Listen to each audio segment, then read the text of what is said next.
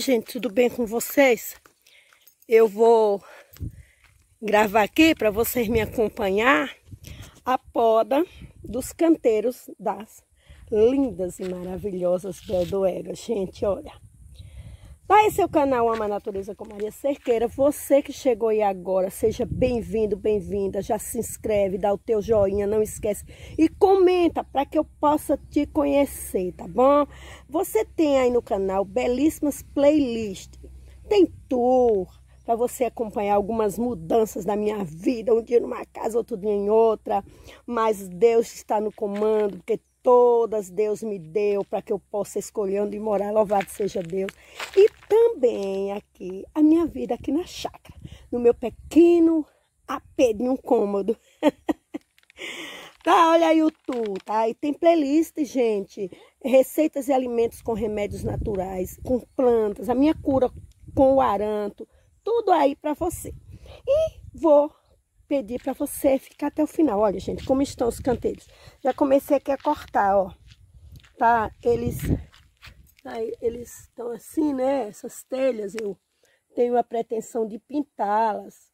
Mas eles invadiram, tá muito lindo, ó, gente. Porém, eu vou podar. Tá vendo? Vou dar uma podada e faço outros canteiros com ela. Ó, como tá lindo, gente. Essa aqui é o canteiro da amarelinha. Tá muito lindo. Ali é o canteiro da 11 horas. A pérola. Sai, pérola, daí, sai. Sai, pérola. Olha, ela também está ultrapassando. E eu vou tirar. Tá? Que ainda não ultrapassou. Eu vou tirar para ir mantendo esse, essa beleza dela, né? Só dentro das telhas. Talvez seja necessário que eu levante mais um pouquinho as telhas para que mesmo que elas sobressaiam, elas não cheguem a ficar assim. Tá bom? Esse aqui, por enquanto, eu vou deixar.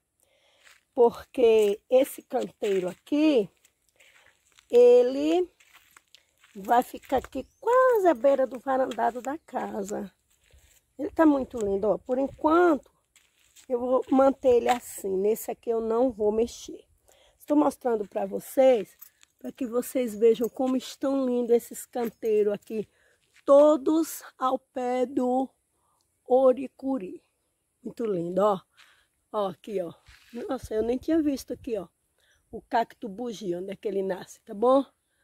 Lindo, maravilhoso.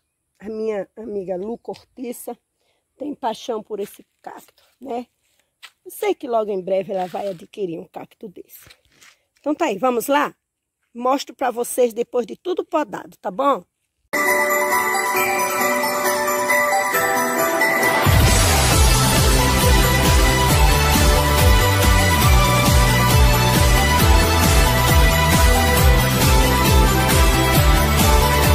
Gente, que...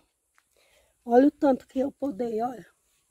Nossa, esse aqui, meu esposo que arrancou ontem à noite ali de um canteiro jogou fora. Menino, pensa que eu dei um piti, pensa que eu dei um piti. Tava tão lindo, tão maravilhoso ali ao pé de uma planta.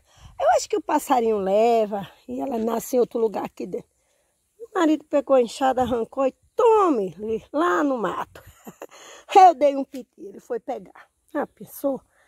Não pode, né? Crime, é crime, gente. É crime judiar das bichinhas, é crime jogar fora. Mas ele diz, ah, tem tanta igual. Mas ele não sabe que quanto mais a gente tem, mais a gente fica feliz. Né? Ele não entendeu isso. Não gosta de planta, que fazer? Então aqui, ó, gente. Eu vou fazer um canteiro aqui, ó. Eu vou fazer o canteiro aqui misto, né? Eu tô pegando, né? E é assim, os pedacinhos dessa, dessa aqui. Que eu tô, né? E vou fazer aqui um canteiro nesse oricorizeiro aqui. Vou fazer misto. A terra é uma terra boa mesmo daqui. Eu estou usando esse adubo. Esterco de gado curtido. É, tem a fazenda aqui próxima e o rapaz vende pra gente. É muito bacana. E o que eu estou usando aqui, eu acho que tá muito bem. Aí já mostro para vocês o resultado, ok? Olha aí, gente, o resultado. Tá? Ficou legal. E eu não pintei ainda as telhas, como eu falei, porque eu vou precisar organizar tudo. terminar aqui a obra da construção. Mas é bom que elas ficam assim, ao menos. Ficou bonitinho, não foi? Ficou bem legal assim, ó, não foi? Fica melhor. Depois eu pintando a telha, fica bem legalzinho. Deixa eu mostrar o outro canteiro e aonde eu plantei. Onde eu plantei elas, como ficou. Rapidinho, viu? Aqui, ó. Às 11 horas. Ali São Beldói, né? Aqui são 11 horas. Hum. Ficou bem mais estiloso assim, parecendo o canteiro, não é? Ficou bem mais estiloso. Vamos ver ali agora onde eu plantei. Aqui, ó, pessoal. Onde eu fiz o canteiro. Tá? Legal, não foi? Coloquei essas telhas aqui. É provisório. Eu, eu tenho a intenção de fazer os canteiros todos naquele modelo. Mas eu preciso encontrar mais daquelas telhas. São telhas antigas, mais comuns. Mas por enquanto ficou aqui. Lembrando que hoje já é outro dia e elas já amanheceram todas assim, ó. Tá? Eu plantei ontem, molhei à noite.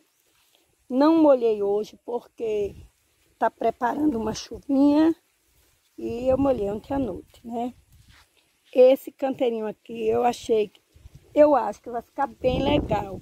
Mas sobrou bastante e eu vou mostrar vocês ali o que eu fiz com o resto. Olha aí. Fiz aqui o canteiro aqui no pé do muro, tá? Aqui esse canteiro aqui delas. Eu plantei elas hoje.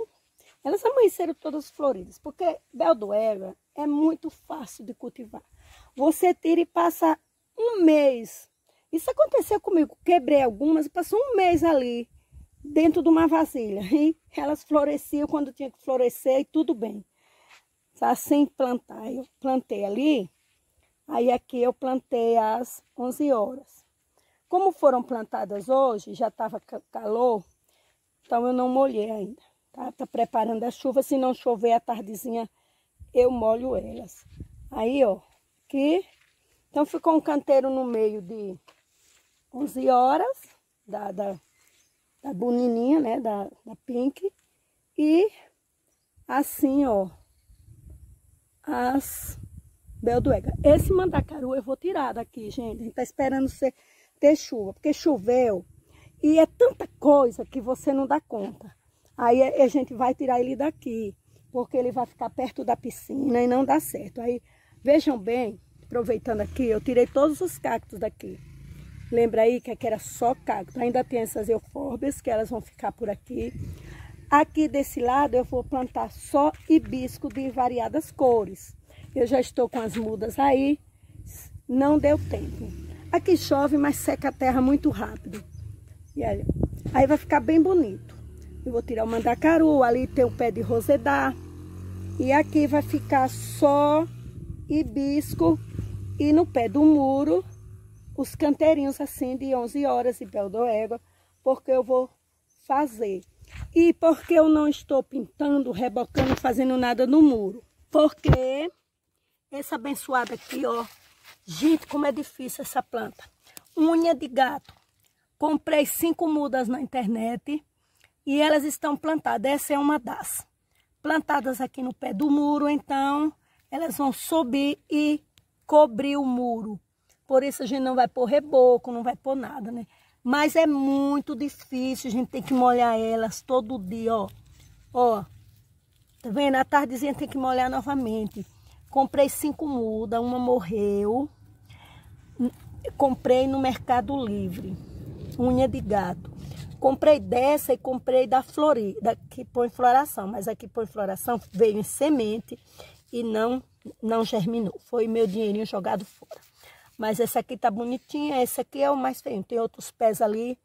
Então tem três pés desse lado e um pé do outro lado. Então vai ficar bem bonito, né? Quando subir o muro vai ficar todo, todo bonitinho. Mas é muito cuidado. É a unha de gato. Gente, comprei cinco mudas por 25 reais. E o frete veio junto com outras plantas. Eu não sei nem como seria o frete. Porque veio o frete junto com outras plantas. Aí tá aí. Muito obrigada por você assistir este vídeo. Compartilha para quem gosta de flores, principalmente de 11 horas e Belduera. E que Deus seja sempre louvado por essa natureza bela e maravilhosa.